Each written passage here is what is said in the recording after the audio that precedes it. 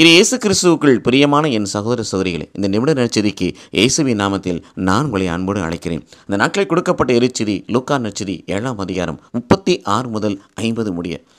பாவியான பெண் ஒருத்தி இயேசுவின் கால்மாட்டில் அமர்ந்து கண்ணீரை புழிந்து கூந்தலால் துடைத்து தடித்து பூசி அவர் பாதத்தை முத்தமிட்டு கொண்டே இருந்தாள். அவள் என்ன செய்தாள்? பாவத்தை அறிக்கை செய்தாள். தன் பாவி என்பதை ஒட்டுக்கொண்டா ஒப்புக்கொண்டாள்.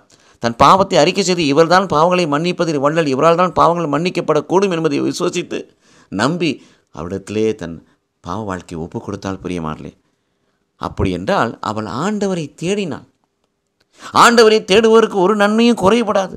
ஆண்டவரை நாடுவதற்கு ஒரு நன்மையும் குறைபடாது என்று திருப்பாடல் முப்பத்தி நான்கு பத்தில் வாசிக்கிறோம்.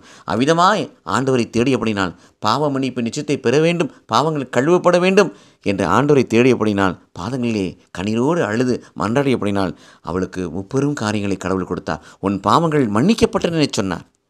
இரண்டாவது உன் நம்பிக்கை உன்னை மீட்டதுன்னு சொன்னார். அவளுக்குள் இதுவரை நம்பிக்கை இல்லை. அவளுக்குள் அந்த நம்பிக்கை ஊமையாக இருந்த உயிரிட்டு இந்த நம்பி உயிர் பெறச் செய்தார். மட்டுமல்ல அவளுக்குள் மீட்பு அவளுக்குள் ரட்சிப்பு கடந்து வந்தது. உலகம் தர முடியாத சமாதானத்தை அவள் பெற்றுக்கொண்டாள். மன்னிப்பை பெற்றுக்கொண்டாள்.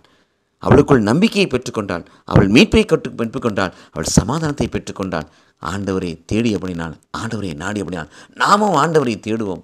ஆண்டவரை தேடுவோருக்கு ஆண்டவரை நாடுவோருக்கு ஒரு நன்மையும் குறைபடாது. கடவுள் நம்மை ஆசுவதிப்பாராக ஆமீன்.